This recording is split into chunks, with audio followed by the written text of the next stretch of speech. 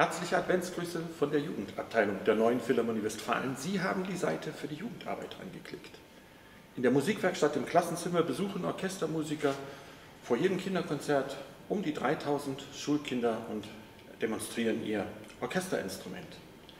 Und wenn wir den Kindern unser Orchesterinstrument erklären, zeigen wir den Kindern auch, wie man so etwas Ähnliches, wie in meinem Fall das Horn, selbst basteln kann. Wenn man ein Selbstbastelhorn herstellen möchte, braucht man eigentlich nur zwei Gegenstände. Eine ganz lange Röhre, in diesem Fall einen 3,78 Meter langen Gartenschlauch und einen Trichter. Man befestigt den Trichter am einen Ende, das Horn ist rund gebunden, man muss es also aufrollen und fertig ist ein Selbstbaumusikinstrument, das genauso funktioniert wie ein Horn. Bloß wenn man hineinbläst, wird man dasselbe erleben, was man beim Hineinblasen eines Horn erlebt, wenn man die Tonerzeugung des Instrumentes nicht kennt. Einfach hineinblasen, man hört nur Luftrauschen. Die Töne sind interessanterweise beim Blechblasinstrument werden erzeugt von nicht diesem Instrument, sondern dem Spieler selbst. Es sind die Lippen vom Bläser.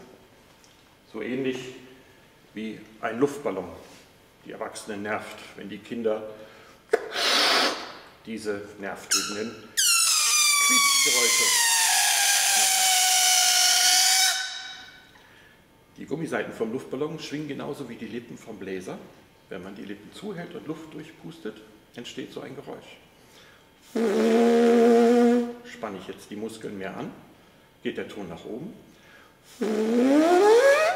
Und lasse ich locker, wird der Ton tiefer.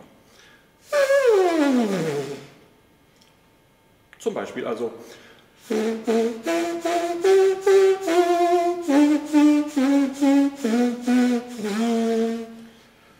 Und wenn ich dieses Lippenkitzeln in dieses Schlauchinstrument mache, kommt mit einigem Glück ein Ton heraus. Das muss sehr rund sein am Anfang und dann entsteht das hier.